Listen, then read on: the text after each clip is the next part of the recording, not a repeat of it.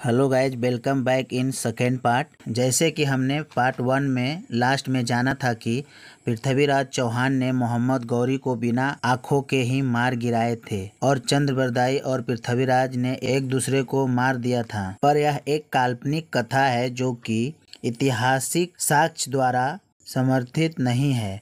पृथ्वीराज की मृत्यु के बाद मोहम्मद गौरी ने एक दशक से अधिक समय तक शासन करना जारी रखा। पृथ्वीराज की मृत्यु के बाद गौरियों ने उनके पुत्र गोविंद राज को अजमेर के सिंहासन पर राजा नियुक्त किया।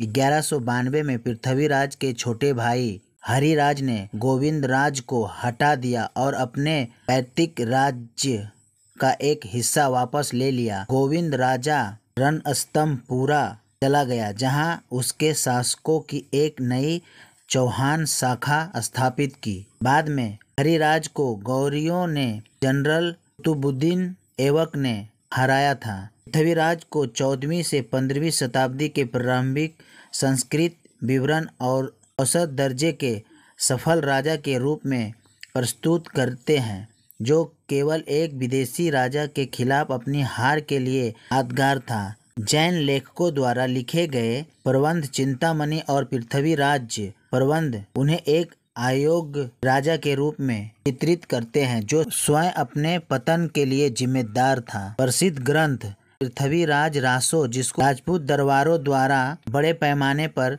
संरक्षित दिया गया था, पृथ्वीराज को एक महान नायक के रूप में चित्रित करता है। पृथ्वीराज के वंश को बाद के काल में राजपूत वंशों में से एक के रूप में वर्गीकृत किया था। हालाँकि उसके समय में राजपूत पहचान मौजूद नहीं थी। समय के साथ पृथ्वीराज को एक देशभक्त हिंदू योद्धा के रूप में चित्रित किया गया, जिसमें मुस्लिम दुश्मनों के खिलाफ लड़ाई लड़ी।